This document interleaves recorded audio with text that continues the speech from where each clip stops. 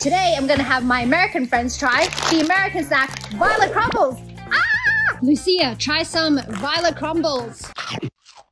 I like this one a lot better than Tim Tam. There's like a very traditional Chinese candy that tastes exactly the same thing, like the one that's in the middle. Thumbs up. Thumbs up. Jeannie, try some Violet Crumbles.